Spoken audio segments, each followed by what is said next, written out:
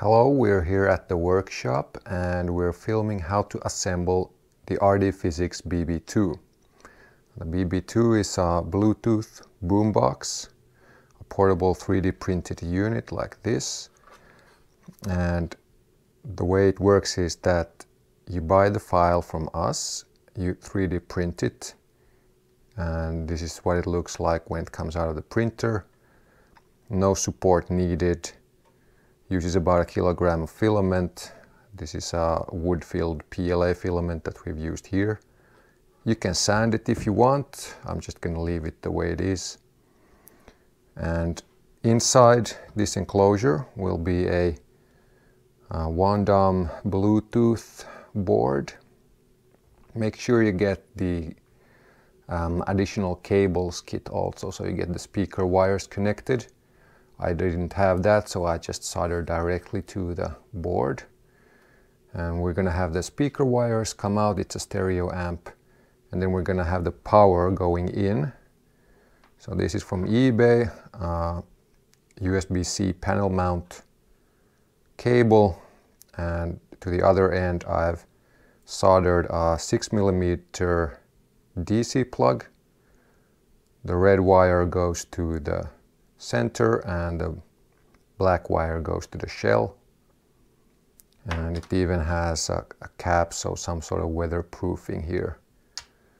Um, the drivers we're going to use are Dayton Audio RS100 full range unit and at the bottom of the enclosure we're going to have a passive resonator also from Dayton Audio the DSA 175 and then we're going to have a handle this is from IKEA, drawer handle. We're to have it at the top here so we can carry this around. And also we can have a Genelec wall mount in the back here so we can hang it on, on the wall if we want. And then of course we're gonna need some fasteners, two screws for the wall mount. These are 4.2 in diameter and 20 millimeters in length. We need five screws for the passive resonator. These are 4.2 in diameter and 12 in length. And then we need two times six screws for the drivers. These are 4.2 in diameter and 25 millimeter in length. A bit too long, but this is what I had. And then for the amplifier board, we're gonna need small screws. These are three millimeter ones. And what we're going to do first is we're going to insert some um, bitumen sheets. So we have these stiffeners here and we're going to heat these bitumen sheets and just uh, bond them on the inside of the enclosure. Alright, so here we have the bitumen sheets on the inside of the enclosure. It doesn't have to be pretty, because this will not be visible to the outside. You can use whatever scrap pieces you have available. Just try to push it um, all the way against all the edges so that it's properly coupled to the enclosure mm, and try to avoid the cheapest bitumen because it's quite brittle even when heated up so uh, STP brand works nicely get the thickest one you can find 4 millimeters uh, should be available and you can try a knuckle test just to see what kind of difference it makes. So now we have the amplifier board fastened on the inside and that's really the part you should mount first because from these driver holes you can use a screwdriver and reach all four corners and of course attach all cables to the uh, amplifier board before you do that so at the moment we have the two speaker uh, wires coming out and we have the power wire plugged in already. Now we have the drivers soldered in place and you can see the drivers mounted here with the six screws.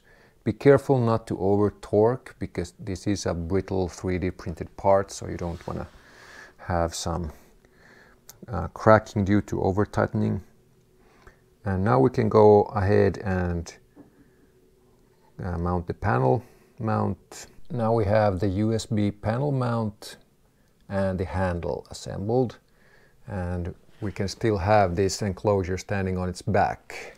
And next we will put some pillow stuffing inside the enclosure and mount the passive resonator. Now we have the pillow stuffing inside and the passive resonator mounted. It's important to get an airtight seal so when you push in the passive resonator you should see the full range units move outwards and that way you can check that you have an airtight seal. And now this unit is fully assembled except if you want to use the wall mount now is the time to mount that. And now the BB2 is fully assembled. We have even the wall mount here and it powers on when you connect it to a voltage supply. In this case we have a 5 volt USB power bank you can use your uh, extra phone chargers, you can use your laptop USB ports, uh, basically any USB uh, output that you have around. So that'll power this unit. Um, not a lot of sound pressure available of course, but good for most occasions. Um, the bass is really nice and tight. Not a lot of it of course, but actually you want to put this very close to a wall, maybe even a corner, and that'll amplify your output and especially the low frequency region. And it won't make it the sound boomy at all, so calling this a boom box is actually not a correct statement. This one sounds really nice with vocals and acoustic guitar amongst others and electronic music